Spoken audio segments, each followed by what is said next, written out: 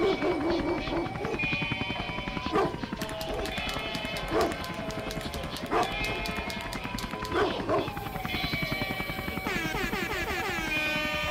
We're the the legends legends of of the the stoop. We're here to advocate, Stoop. educate, and inspire society. Coming at you live from the south side. Welcome back to Legends of the Stoop. I am your host, Mike Pernice. Today's episode is brought to you by Follow the Trees, Ride the Vibe. Make sure to use our discount code Stoop Legends at checkout to receive discounts on all CBD products. Today, my guest stopping by the Stoop virtually is none other than Josh Whiteside, Executive Director of the Education Partnership here in Pittsburgh. Josh, how you doing this morning? Mike, I'm doing great. I'm doing great. Yeah. Friday morning here in the Burgh. How are you doing? I'm doing great as well. Honestly, it's kind of reflected in the painting right behind you of Pittsburgh. Oh yeah. I actually I hung this up for a for a panel that I'm going to be on next week, and I feel like I couldn't have just my standard movie posters, yeah, so I went with the Pittsburgh artwork. I'm loving it. Thanks. Thanks. I'm loving it's it. a strip district special. I think it was 15. Got it at the one boutique that if you wanted to go return it, probably isn't there anymore, huh? no, gone. No returns. so, Josh, why don't you go ahead and introduce yourself to the audience? Tell them a little bit about who you are. Give, maybe give them a little bit of background information uh, before we move on and talking about TEP. Okay.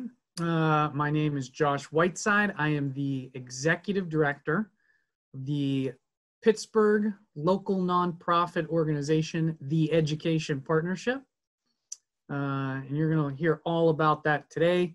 But the mission statement from a 10,000 foot view is we provide students and their teachers in low income schools with all the resources that they need for their education. Uh, me personally, I'm 34 years old. I'm a born and bred Pittsburgher. I grew up in the South Hills, uh, went to college up 79 in sunny Meadville, Pennsylvania at Allegheny College. Go Gators. And then after after graduation, I came promptly back to Pittsburgh uh, to Mount Washington. I worked in insurance before I got into the nonprofit sector. Uh, but I've been on Mount Washington ever since, renting for a number of years, and now this is where uh, my wife and I live with our Boston Terrier, who is sitting right next to me, making noises. So if you hear her, that's Riesling. Well, thank you. Uh, and as uh, as I'd like to point out too in our conversations, um, that you do have a connection to a Pittsburgh legend uh, through your football experience. Ah, yeah, my boy Pat McAfee. yeah. yeah, me and Pat. So I I was the kicker. I was the kicker at Upper St. Clair High School. Mhm. Pat was the kicker at Plum High School, and uh, we had the same kicking coach. The two of us. Mark Schubert was his name. He kicked. Uh, he won the national championship with Pitt in the '70s. He was a, he was a great straight-on kicker. Uh, so me and Pat were Mark's students. So we kicked together all the time in high school. yeah. Pat, now Pat was a year younger than me, but he also, uh, well, he was bigger than me, and he kicked barefoot. But God is my witness. If you asked Mark Schubert today, who was a better kicker in high school? Josh Whiteside, for sure, Ooh. for sure. So Pat, if you're listening, if you're listening, that's a challenge. I think we need to get you guys uh, round up and get a little kicking competition going. Maybe get some donations flying. I'm Maybe here. Some, I'll be collecting bets on the sideline. I'm here. oh, that's awesome. Um, so, what have you learned um, from like from a sports standpoint? What have you learned um, throughout your athletic career?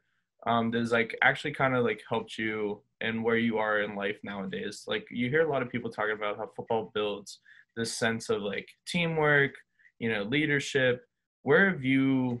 Um, what have you taken away from your sports endeavors? Yeah, that's an awesome question, Mike. Uh, so I think I, I have two two really big takeaways uh, from playing sports, and arguably they are two two of the more meaningful things that I took away from my college education in total. Mhm. Um, so one is time management. You know, playing playing a collegiate sport, it's just it takes a lot of your time. It takes a lot of your time in practice, in in warm-ups, in weight room, in meetings, and everything. It just takes a lot of time.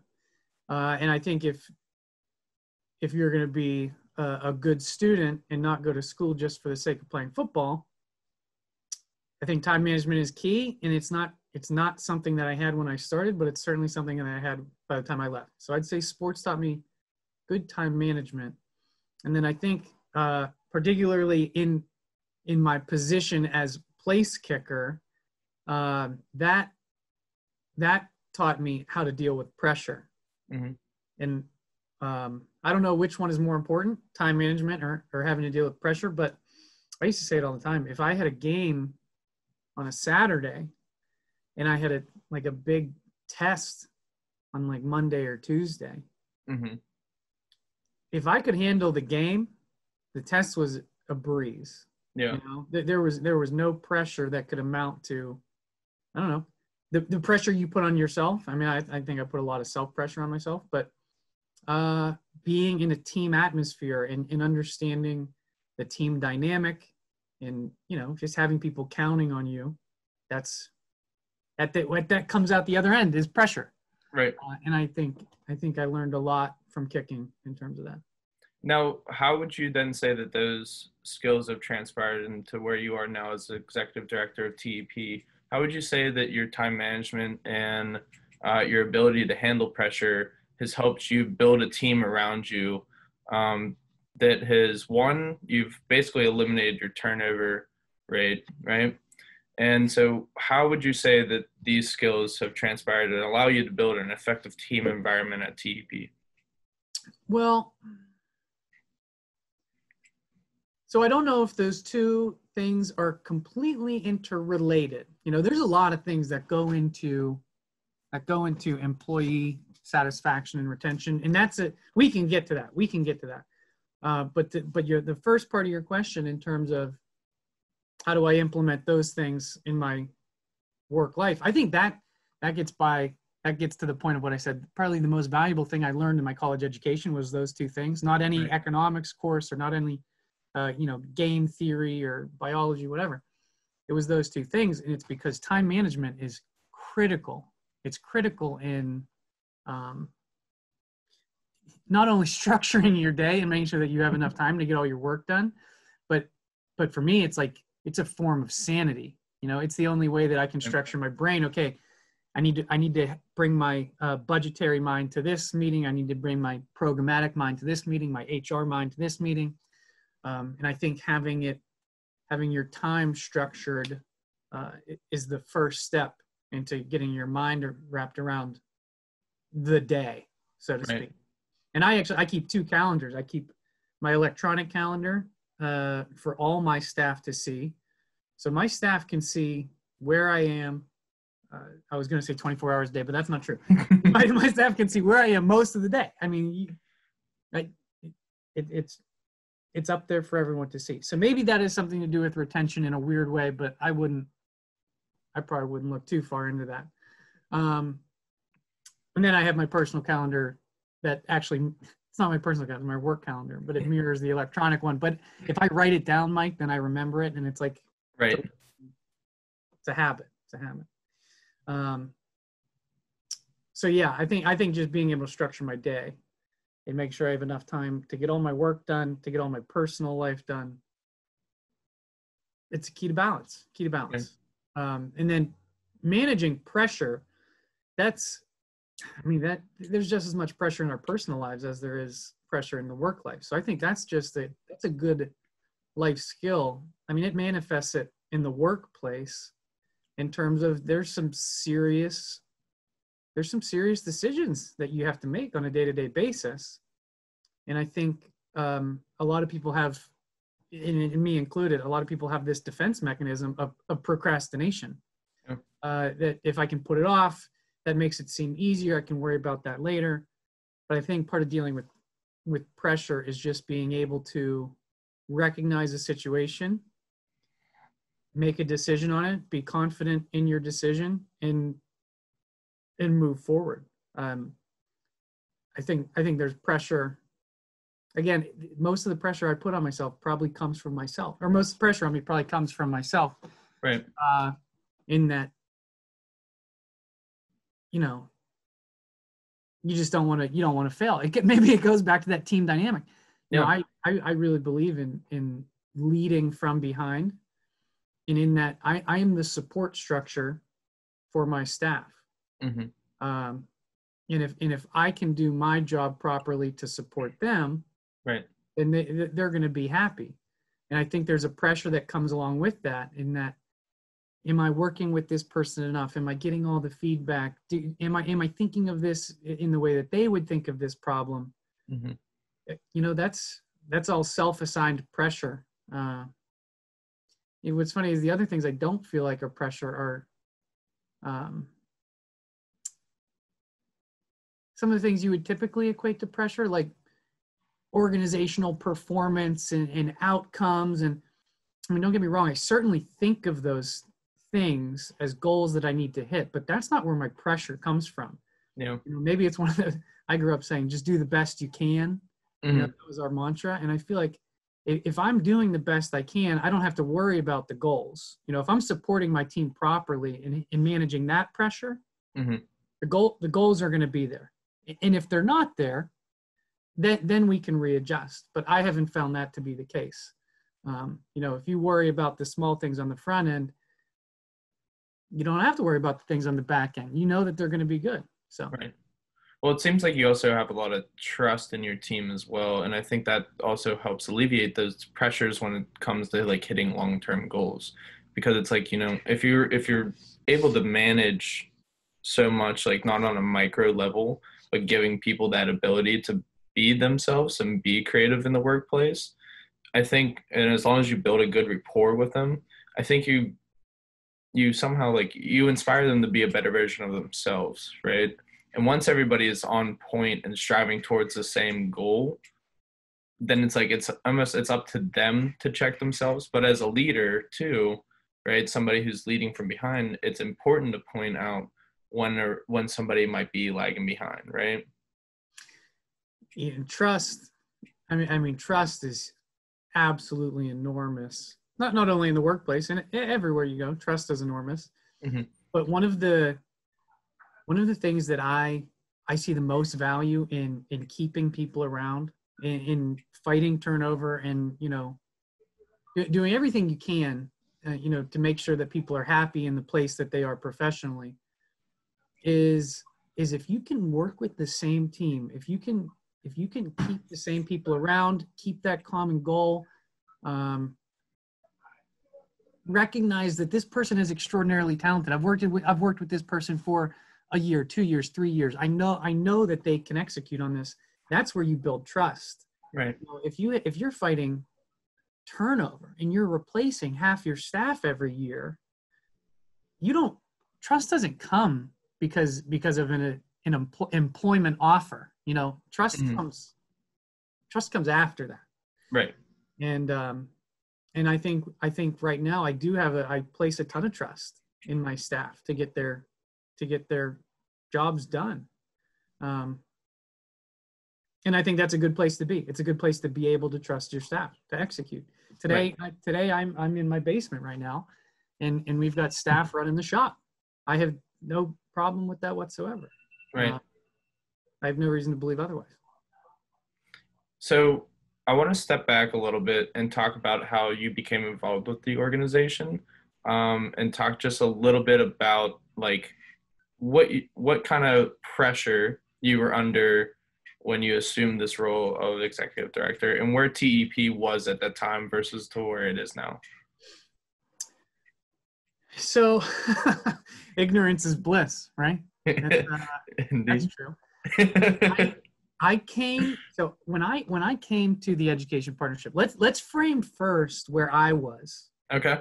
Personally and professionally, and then we'll frame where TEP was, and I think that'll paint a better picture. So personally, I came to the Education Partnership in May of 2018. Okay. And I came to the Education Partnership from my role as co director of another nonprofit that a friend and I had started back in 2012. Okay. So I, and prior to that, I was in the insurance world. So I went from insurance to a complete 180 career change to starting a nonprofit and learning learning governance and learning you know nonprofit administration and learning fundraising um, you know learn, learning all those pieces mm-hmm. six and a half years later uh, i get a call from the education partnership saying from from my predecessor and uh, the founder and executive director justin brown saying hey josh um, i'll cut right to the chase. I'm turning 65 would you have any interest in in applying to this role at the education partnership? And, and I, I had a little bit of hesitancy. Um, some of it stemmed from the fact that we were doing really well at Beverly's birthdays. You know, we all felt like we were on the up and up. Uh, and then the other hesitancy was I I've only been in the nonprofit sector as a full time career at that point for four and a half years. Mm-hmm. And and I think imposter syndrome is a real thing. I think everyone has it. I don't think it's like a diagnosis. Well, it probably is, but but I think everyone has it to a degree. And you always right. question, you know, do I do I really have the qualifications to be the the CEO of of what was then uh, you know a five million dollar organization. Mm-hmm. What I had the the advantage I had was that um, I didn't I wasn't looking for a job. I was happy with Beverly's birthdays. So I was able to be 100% transparent with with the board of directors, with Justin, with with my two um, two other directors, Peggy and Jane at the organization. I was I was able to be 100 I was able to be 100% transparent in the fact that this is what I am good at. This is what I know. This is what I've done at Beverly's birthdays. This is what I am not good at if that fits what you're looking for, then I'd be happy to continue to pursue. If it's not what you're looking for, at least I've put my cards on the table and I'm setting appropriate expectations. Right. And I think that was an important conversation to have with the board. That was at in Pitt, Ohio, and in, in their offices. I remember it, and it was uh, maybe six board members were present, and I was just like, "This is what I do. This is what I've done. This is what I'm good at." Right. Uh, so then fast forward, May 2018, I accepted the position and I started the education partnership.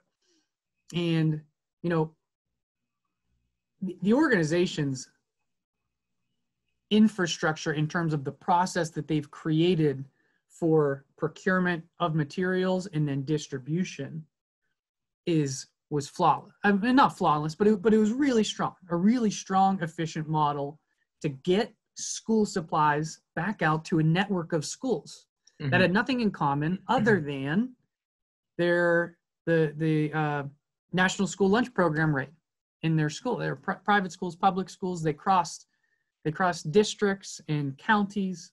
It's a really cool thing. That's a cool connectivity to have. Right.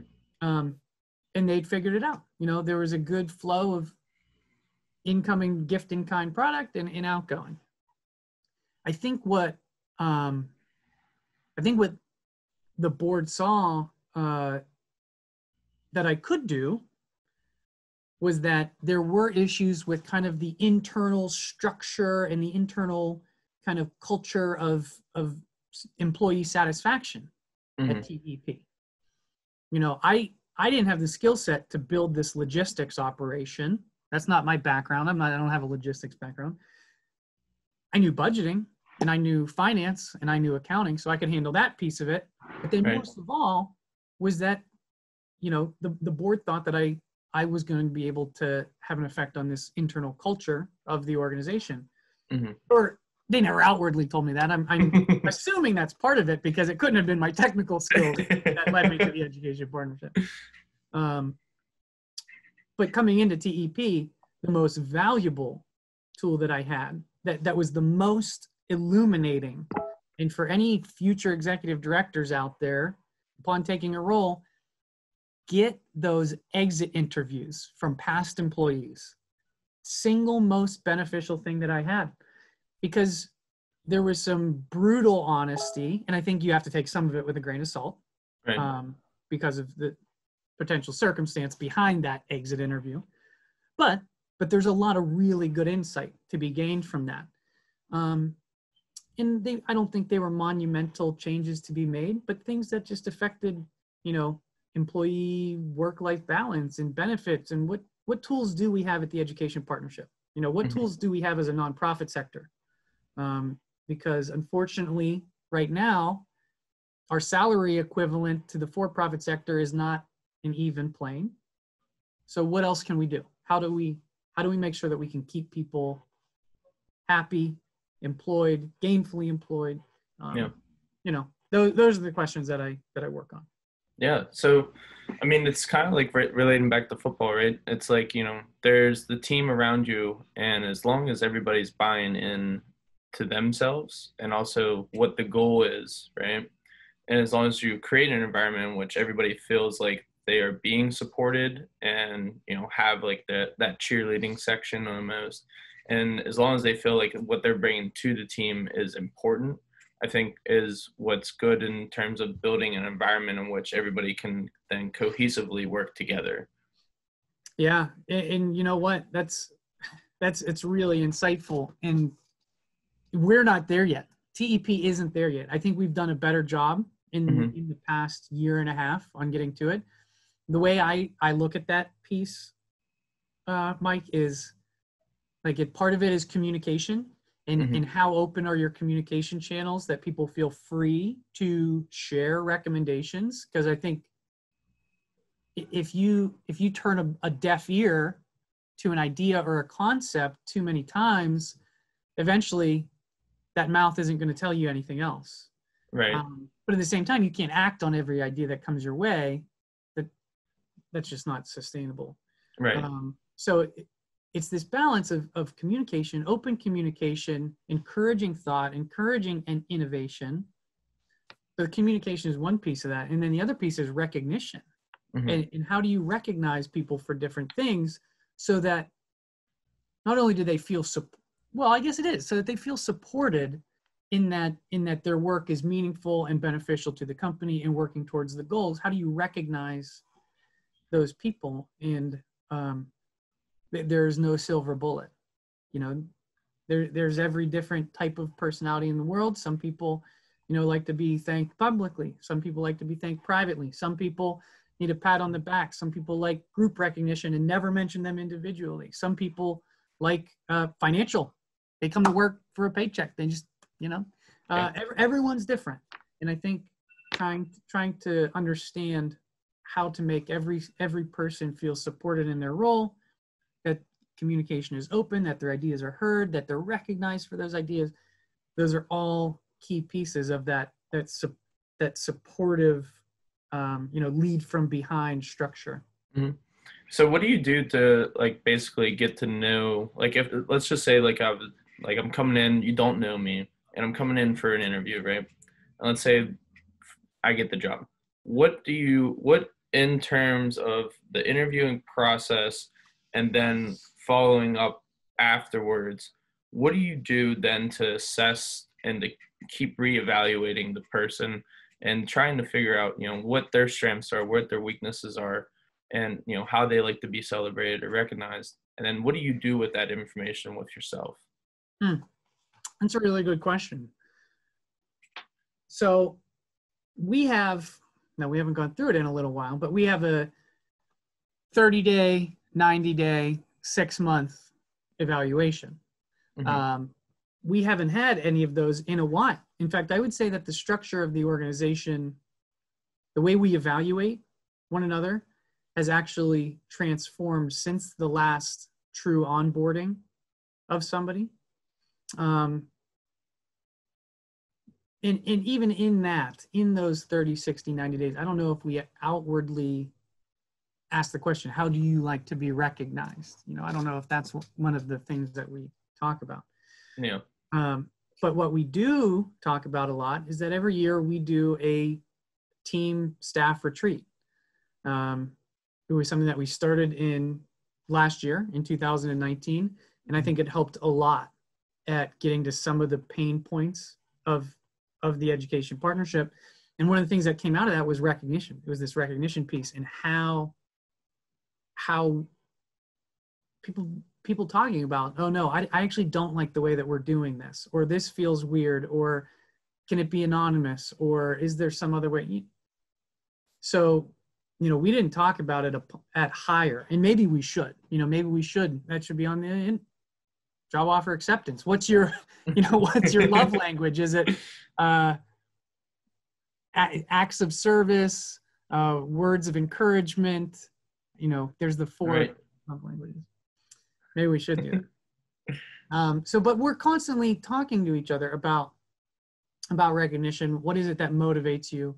You know, this staff retreat leading into it is an employee engagement survey, and mm-hmm. it asks all sorts of questions about um, do you understand the mission of the organization? Uh, would you recommend the organization to a friend? Uh, do, does the organization act upon its corporate values? does the organization uh, support me and my family through work-life balance? You know so it asks all these questions and you get data. You get data points back that you can measure as an organization okay you know we did good in living our values. We still need to work on communication a bit and employee satisfaction is way up. So let you know it's like stop start continue. It gives you a pulse on whoa we need to pump the brakes on meetings.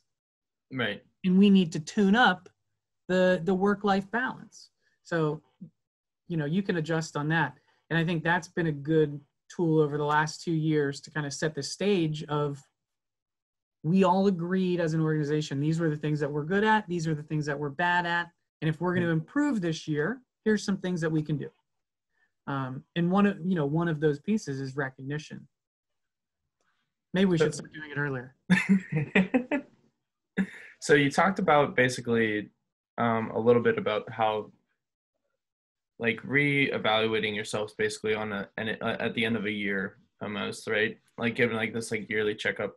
So how would you then evaluate how are you going to evaluate yourself and your team at the end of this year when there's been so many obstacles placed in your way especially the fact that you're dealing with education and just like the amount of uncertainty there was and there still is in this school year um, even now and then moving forward. How would you how are you going to evaluate yourselves at the end of this year?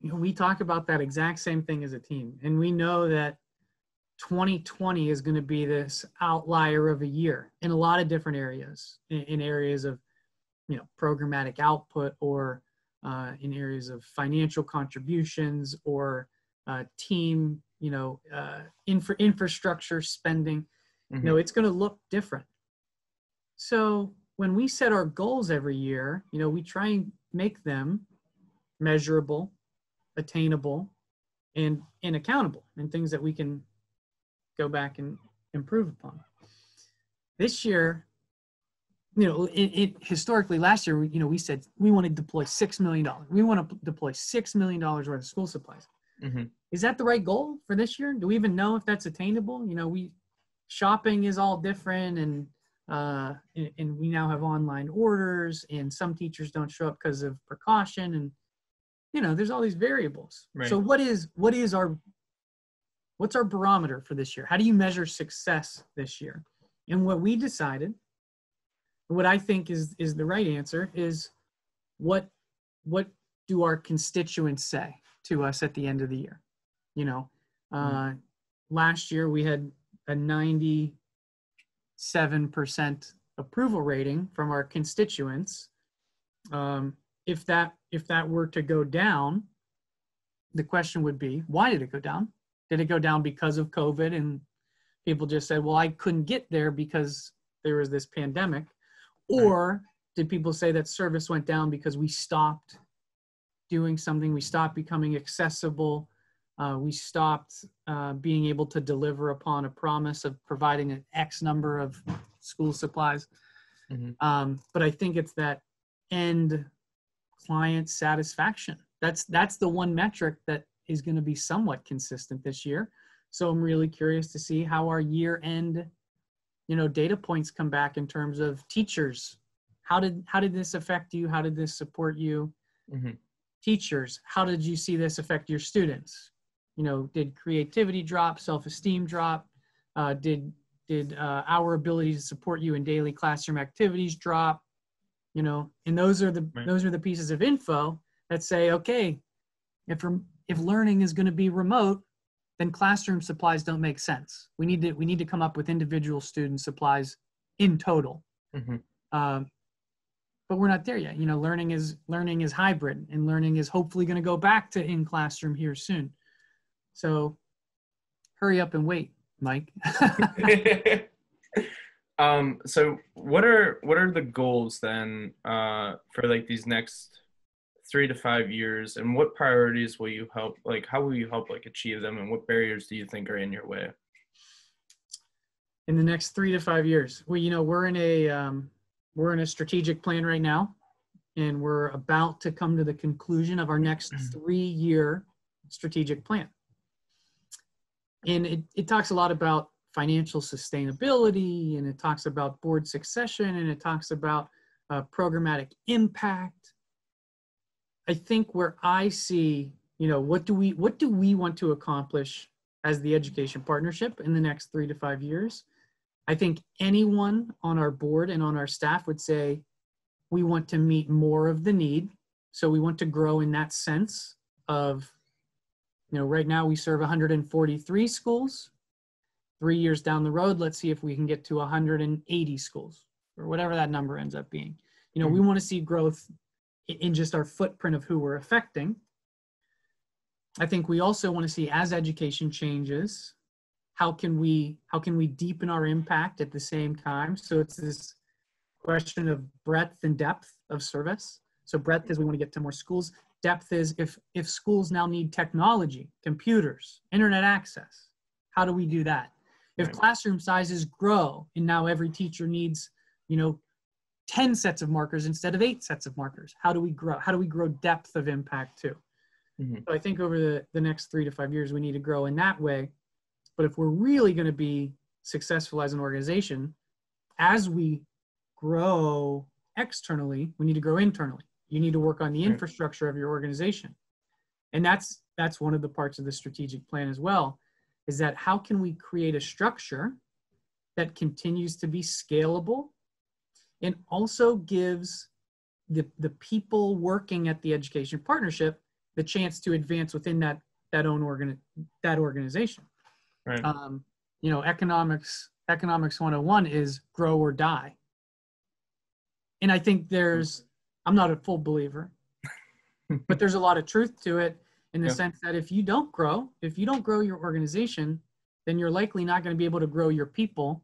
And if people cannot feel like they are growing, they are going to go somewhere else. People have to grow. right Uh, so in the next three to five years, I'd love to see, I'd love to see the programmatic impact increase by 30%, 40%. You know, I don't know what that looks like. We're in a pandemic, but let's grow that impact. And at the same time, you're not going to be able to grow that without human capacity. So let's thoughtfully add human capacity and create create a structure for people to to continue to improve their skills. right so what would you say then is the best kept secret of tep either a service that you offer or even just like you know through the individuals that you have in your office what do you think is the best kept secret that you guys have Wow. What a question.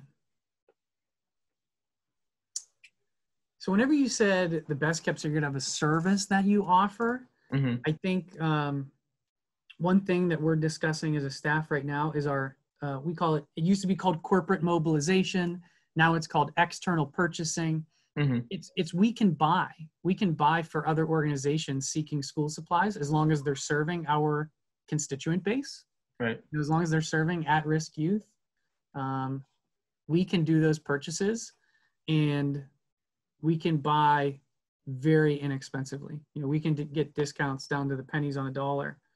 Um, so I, I think that's one thing that grew a lot during the pandemic was that we became this community procurement organization, and we were able to get out, you know, goods to an extra 20,000 kids over the course of the summer through external purchasing Mhm. and leveraging other people's networks to support low income youth. So I would say external purchasing is a, is a is a well kept secret at TEP, something we're trying to thoughtfully unsecretize. But yeah, you- but we have to do it in a very uh, tactful way, in a very Right. strategic way, uh, to make sure that you're still this mutually beneficial community supporting nonprofit organization. Mhm. Um, and then the best kept secret about our staff, like internally,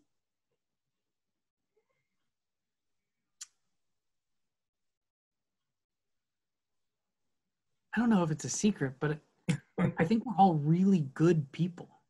Yeah. Like I think generally every every person on staff at the education partnership you can walk up to and you can have a conversation with. Um, you know, I think we're just a team of really good, approachable people who who are in the work for the right reason. No, I would agree. Um, for the audience that doesn't know, I am actually on my second internship with TEP.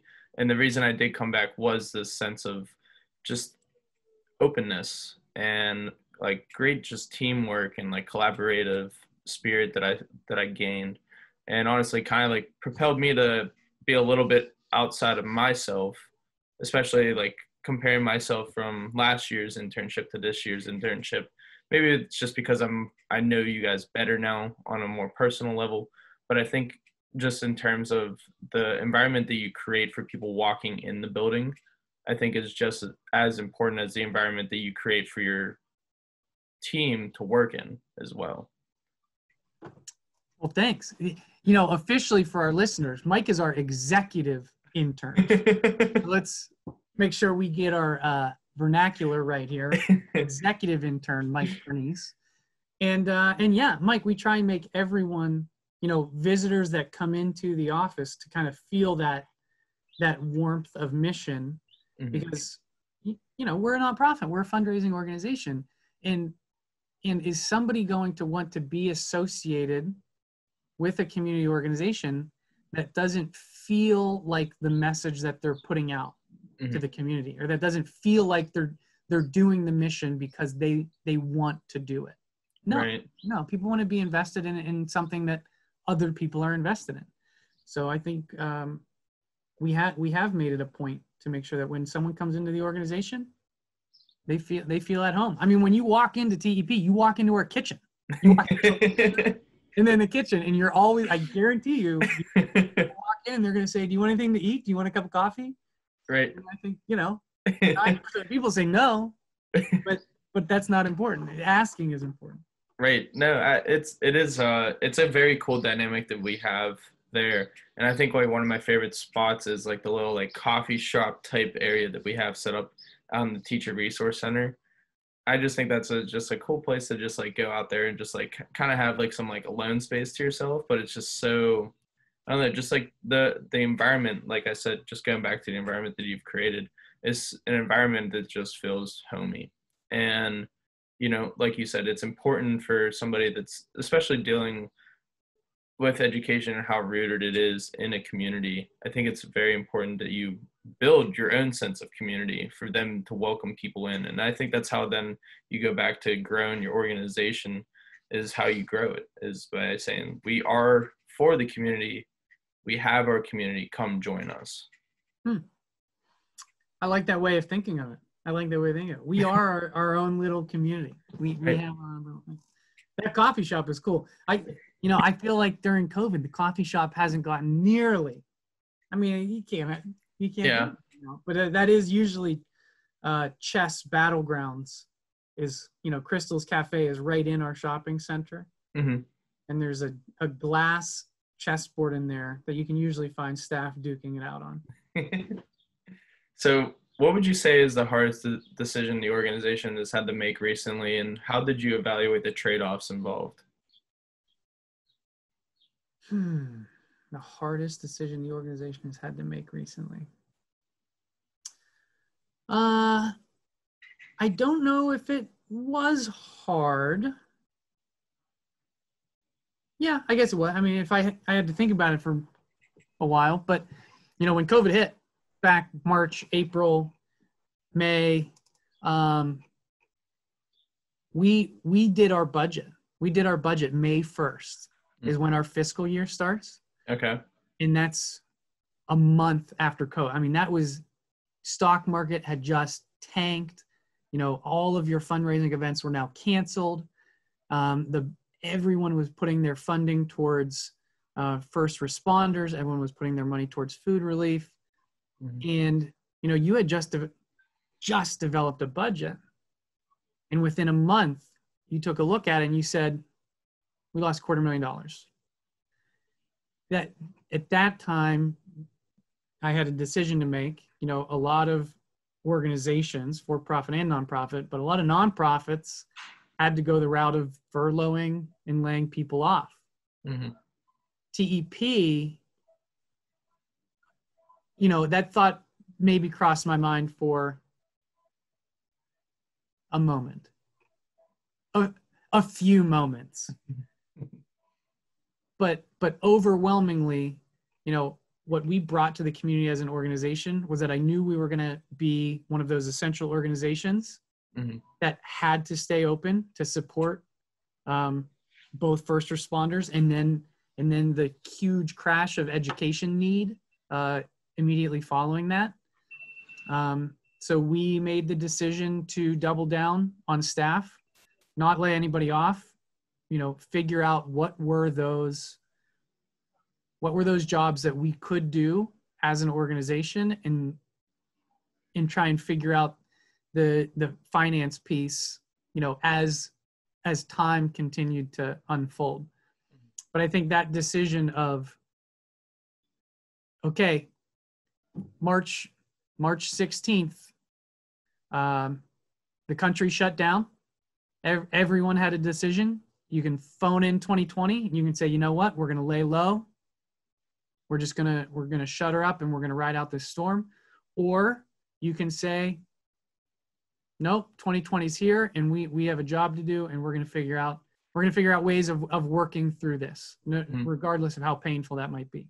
Right. and we decided to do to do the latter. And and i can i can look at you today and say i think the education partnership is a much stronger organization october 9th 2020 than we were march 16th 2020 Yeah. Like what have you what have you learned about yourself and about your team and about the organization as a whole through this whole year so far? um, that you know re- resiliency grit is a real thing uh,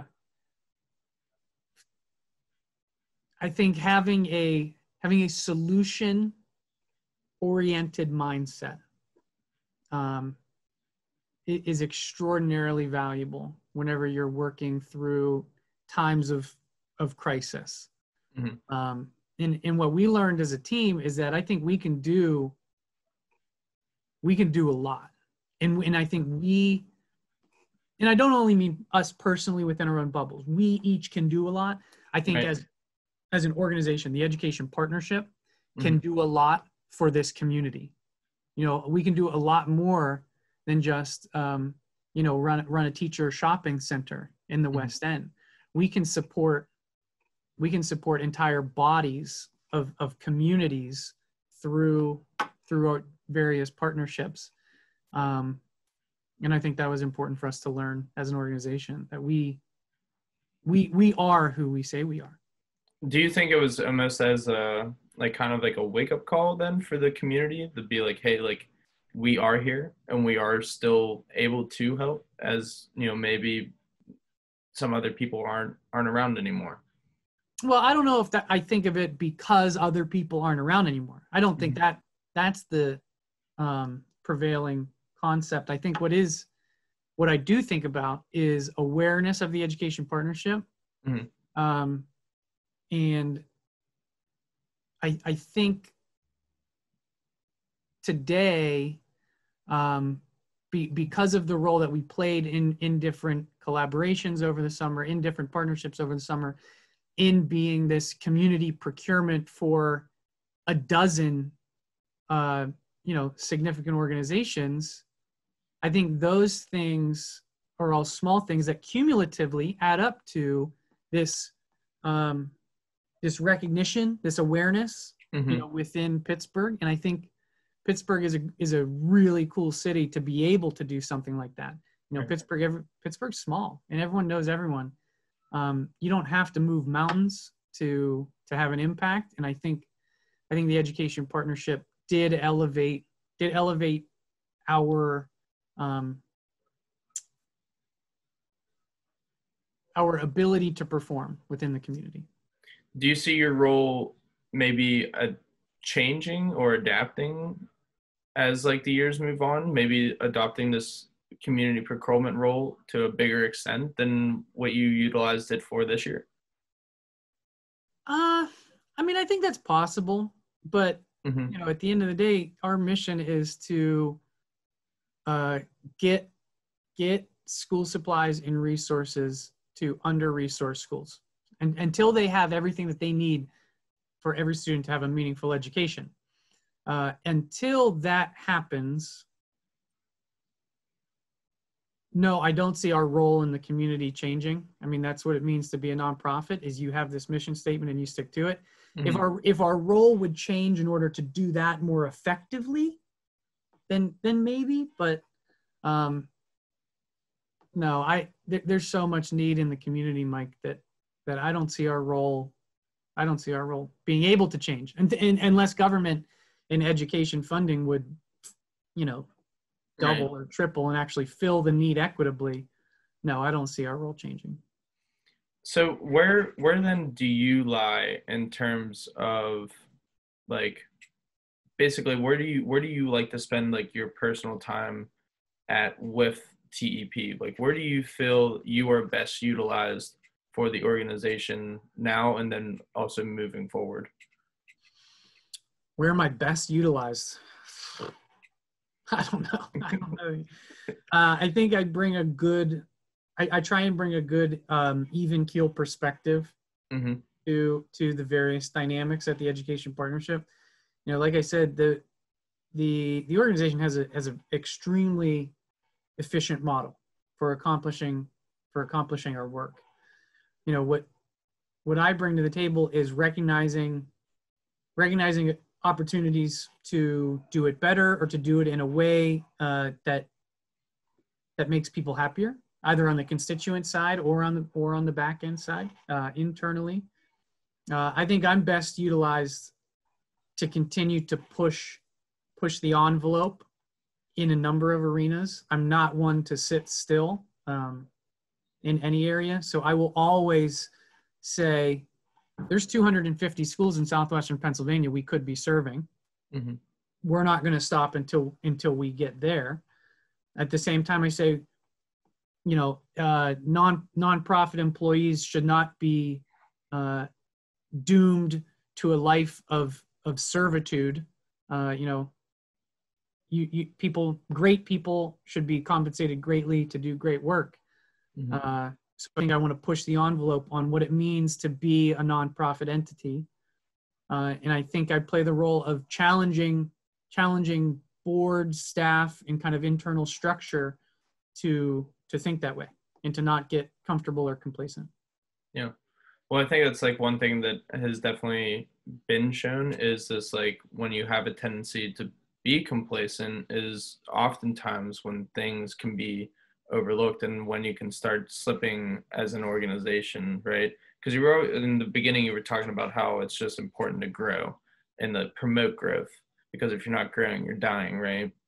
So this complacency factor in which where you feel like you've kind of reached your goals and then it's almost like okay you're in a like reevaluation stage where it's like okay now what's next you know it's like it's important to focus on where you are right now and in the moment and what you're trying to accomplish but it's also in my opinion important to focus on the future and what you're trying to build now so that that way when three years comes you can look back and say okay we accomplished this this this and this. Here's the areas in which we lagged let's then set these goals to then bring that back up right? Because you want to be as most you don't want to have like spikes and dips within your organization, you want to generally have everything can not complacent. What's the word I'm looking for? Comparable, comparable, I guess. We'll Congruent. I think that makes sense. I think congruent, maybe. but you get what I'm saying. You want to have a nice balance in across all levels instead of you know like marketing has is great, where in terms of you know sales is down. You know what I mean? Oh yeah, I think having a pulse on having a pulse on your budget. I mean, that's what budgeting is about. Budgeting Mhm. is making sure that things don't get out of whack, so to speak. Yeah. Um, yeah, and making sure everything is growing together in the right way. Maybe is an easy way to say it. All right. So l- the last question I have for you then is for TEP to stay as effective and then to grow in its effectiveness, where would you like to see it? Hmm. To stay as effective and to grow as effectively. Uh, so I think, I think having resources to do it is is paramount. So, you know, first and foremost, I think we need to make sure that education, education funding, both from a um, state and federal level, but also as as a nonprofit charitable entity, Mhm. that education um, continues to be on the forefront of um, funding priorities. You know, uh, now I'm biased, but you know, education is is one of those one of those things that can drastically impact and alter the trajectory of somebody's life for the better. You know, Mhm. Um, so I think I'd like to see education remain important. Um, and then was there a second part to your question? Yeah, just like basically, how do you keep like this environment in which you've already built? How do you keep building upon it and making sure that it doesn't like stay stagnant? Well, uh, I think you need to constantly be think, thinking about, like what you said, thinking about the future, thinking about, okay, if X, then Y, and at what point do I need to implement change? So I think Mhm. having a pulse on what is your growth like, what is your shrinkage like, um, and maintaining a pulse on what are those most important things to the organization at any given time. Uh, and then it always comes down to people. It always comes down to, to the people at the organization, the people actually doing the work. Um, and if you can maintain a culture of fulfillment, um, a, a place where people feel like they are uh, properly recognized and rewarded for the work that they're doing, and they feel like they are contributing and growing themselves, Mhm. uh, that's that's what it's going to take. That's what it's going to take is is to grow the organization in in all those in all those important ways. Well, Josh, I thank you so much for stopping by the stoop today. You know, we'll definitely have to get on get a hold of Pat McAfee for this like kickoff event. you know, let, let, let's. I mean, I'll shoot him a message. I'll shoot him a message on Instagram. See see if he uh, responds. have You you? will be coming home for Thanksgiving or something. Would you? Uh, would you? Would you say you need some time to warm up and to like relearn your steps, or are you constantly practicing? Well, I just I have to test out my hip. I I injured my hip flexor in well, I like tweaked it playing indoor soccer maybe 2 years ago and then a year before that I like seriously hurt it uh coaching. So I got to test out the hip. But if the Okay. hip's fine, it, it's like riding a bike, Mike. Just get ready to hop right back in the saddle. Oh, 100%. well, Josh, again, thank you for stopping by the stoop. Uh, please uh, do yourself a favor and give TEP and yourself a shout out. That way, people know where to find you, TEP, and to stay up to date on everything that you guys do. Yeah, you can check us out online, theeducationpartnership.org. Uh, the website's got more information than you need, but laid out really nice. Theeducationpartnership.org. Uh, or you can find us on Facebook for Up to the the minute updates on what we're doing. And that's facebook.com slash the education partnership. Sounds good, Josh. And to all of our listeners who tuned in today, please make sure to use the um, discount code Stoop Legends for Follow the Trees, Ride the Vibe, discounts on all their CBD products. And then make sure to tune into our website at www.legendsofthestoop.com to stay up to date on all of our most recent podcast episodes and the services that we do provide. Again, this is Josh Whiteside from the Education Partnership. Thank you. Thanks for having me, Mike.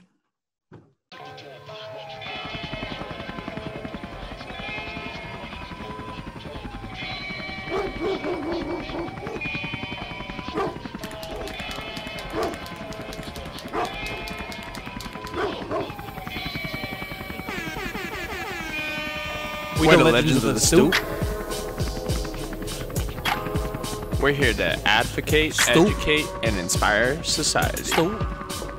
Coming at you live from the South Side. Make sure to tune into our website at www.legendsofthestoop.com. Use the hashtag on all social platforms. Hashtag stupid legends. We the legends of the stoop. Coming at you live. Right here in Southside. www.legendsofthestoop.com.